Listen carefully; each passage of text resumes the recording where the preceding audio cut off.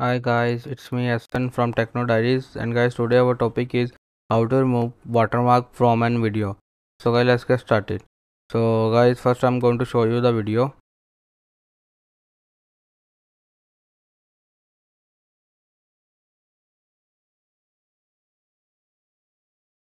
So guys here is, here is it the video. So guys I want to remove this watermark from this video. So guys I'm going to show you how to remove watermark from an video.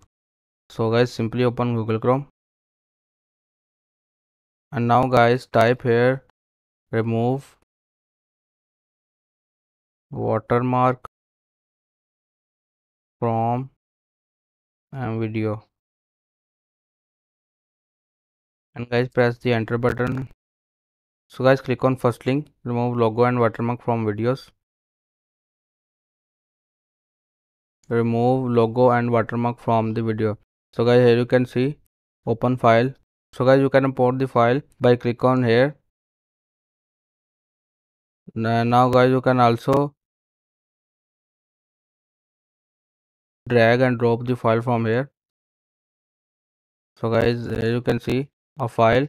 So guys to remove watermark from here you have to simply select that part. Uh, like i'm going to select this part and guys click on save option.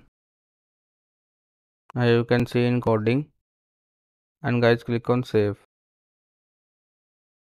So guys you can see our video has been downloaded from here. So guys simply click on it. Click on show in folder. So guys here you can see our video. So guys simply click on it. So guys here you can see we have more watermark from an video so guys you can also remove a watermark from a video by following this process. I hope you will find this video informative. If you like it press the like button and subscribe our youtube channel techno diaries. Have a good day